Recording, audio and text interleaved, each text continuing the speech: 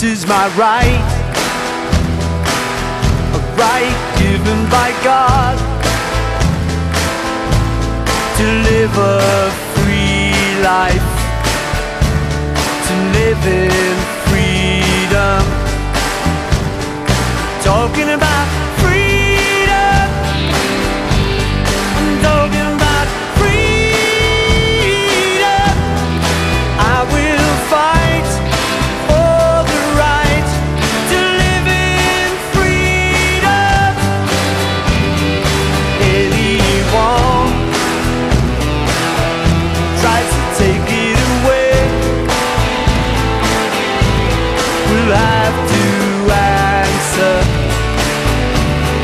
this is